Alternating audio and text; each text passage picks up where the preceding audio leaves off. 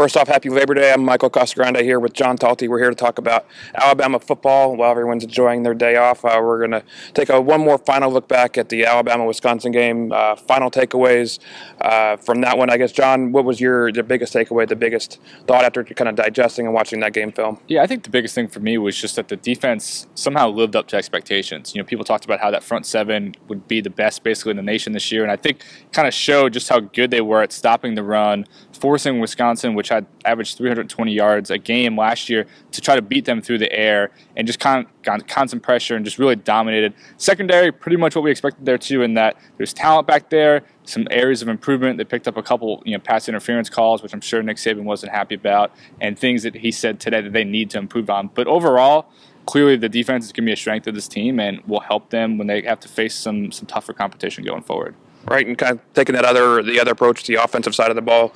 Uh, I think there were some anxieties were calmed somewhat with the offense. There were there were issues, there were worries about the quarterback play. Would there be uh, inconsistencies? Would there be turnovers? That sometimes was an issue with Coker turning the ball over. There weren't any of those kind of situations, and there weren't even many plays where there were there were near turnovers. He didn't throw the ball into traffic much. Maybe one time, maybe two times, but not any plays where the, the, the defensive backs got their hand on the ball. So uh, I think.